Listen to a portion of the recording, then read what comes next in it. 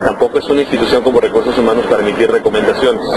La Secretaría de Salud eh, emite observaciones, emite por supuesto comentarios, que no también el Ayuntamiento de Guadalajara por supuesto que atiende de manera responsable, pero que creo que es importante reconocer que no existe una autoridad específica que obligue ni mucho menos a una acción legal por parte de la Secretaría.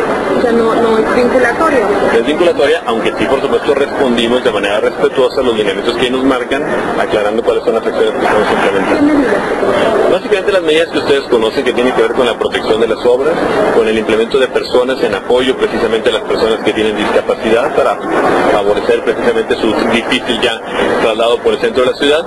Y bueno, por otro lado, estamos buscando también la manera de exigirles a los constructores que cumplan cabalmente con la colocación de las medidas de seguridad. Parte de lo que, o de parte de las preocupaciones también de la Secretaría de Salud es precisamente los daños que pudiera generar a la salud. Usted, secretario, seguramente conoce los riesgos que pueden implicar este tipo de obras.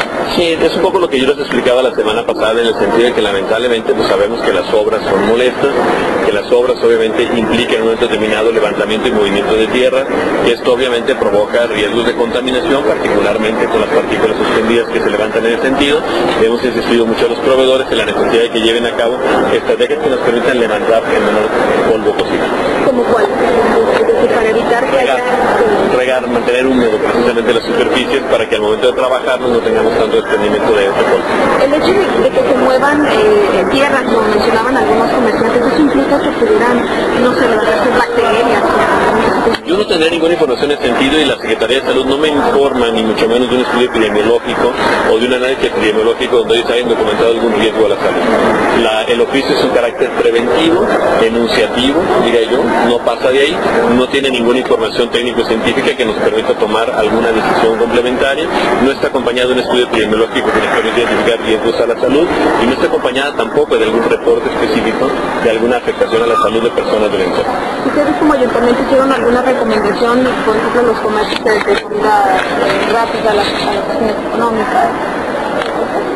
En, en, estas obras, bueno, la única recomendación que hemos estado haciendo es la necesidad de tener mecanismos de protección adicional precisamente en ese contexto.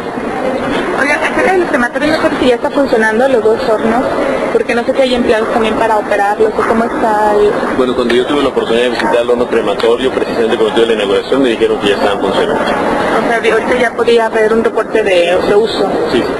Ok, okay por último, sé que la investigación del Instituto Municipal de la Juventud que hicieron a través de recursos humanos, ya estamos en marzo y no sé cuál ha sido la evaluación final de este Pero tema. Que le pregunte al director de recursos humanos, no ha recibido todavía una conclusión definitiva, les, como les comenté, es un proceso que se va siguiendo de acuerdo a los tiempos de la ley. ¿Y cuál es la nueva fecha o qué va a No, pasar? no hay nueva fecha, es un procedimiento. Lo que pasa es que los procedimientos no tienen una fecha de conclusión.